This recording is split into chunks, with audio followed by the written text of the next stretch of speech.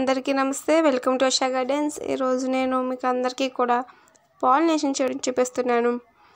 ప్రతి పాదు మొక్కల్లో కూడా ఆ ఫీమేల్ ఫ్లవర్ని పాలినేట్ చేస్తే కనుక ఖచ్చితంగా అది ఫ్రూట్ కింద మారే అవకాశం ఉంది.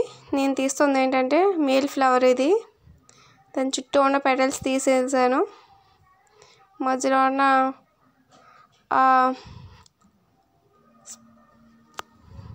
పార్ట్ మాత్రం తీసి ఫ్లవర్ ఏదైతే ఫీమేల్ ఫ్లవర్ ఉందో దానికి నేను అటాచ్ చేస్తున్నాను.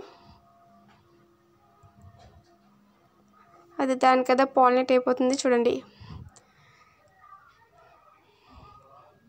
కొన్ని రోజుల్లో అది మాత్రం పాలినేట్ అయిపోయి కింద చూస్తున్నటువంటి పిండి మాదిరి సైజులోకి వస్తుంది. మా ఏరియాలో కోతులు ఎక్కువ. కొంచెం అది ఫ్రూట్ అవగానే తెగతిలేస్తాయన్నమాట కోసుకుని. నెక్స్ట్ చూసారా? పాలినేట్ చేసినటువంటి ఫ్లవర్ స్టార్టింగ్లో అలా ఉండేవి బట్ ఇప్పుడు చాలా పెద్దగా మారాయి. అదిగోండి.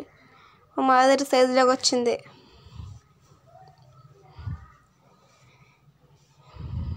బాగుంది.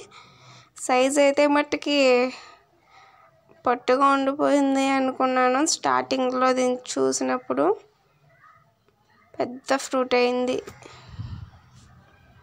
ఫైనల్గా మనకి ఆనంబకాయ వచ్చేసింది. అది కంప్లీట్ అయిన ఫిఫ్టీన్ డేస్లోనే మీరు దాన్ని కోసేయండి లేకపోతే ముదిరిపోతుంది. అది ఇంకెందుకు పనిచేయదన్నమాట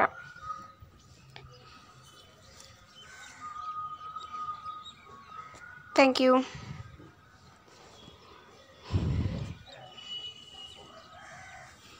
Bye bye